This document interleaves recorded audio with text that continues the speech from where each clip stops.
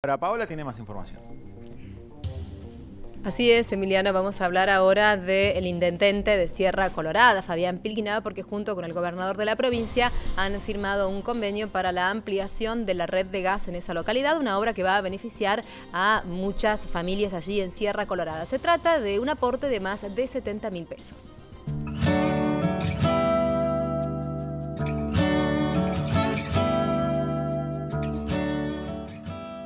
Sí, como lo hicimos por primera vez, este, en la primera etapa que se desembolsó para el municipio se realizó varios metros de, red de gas, que es importantísimo para nuestra gente por el frío.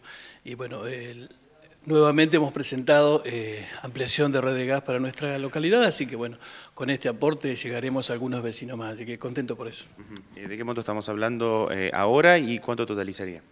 Y más de 600 mil pesos, ¿no? primero fue 500 41 y ahora recibimos algo de 71 mil pesos. Así que eh, siempre es bienvenido para la localidad, todo lo que se aporte eh, que entra a la cerca del municipio, siempre aparte es bien destinado para la gente con servicio, que es fundamental por el periodo invernal, lo que se nos aproxima y gracias a Dios tenemos poca gente ya con el servicio de leña. Eh, hemos trabajado mucho para llevar red de gas domiciliaria y ha sido un trabajo coordinado con la provincia, eh, la nación y bueno, el municipio también que está siempre colaborando con los vecinos.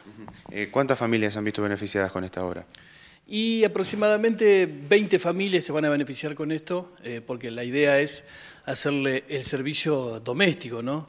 desde el nicho a la, a la, a la a la parte interna de la vivienda donde se le coloca la cañería, eh, un calefactor y una cocinita de gas, siempre por ahí la gente que más se beneficia con ese, con ese aporte. ¿no?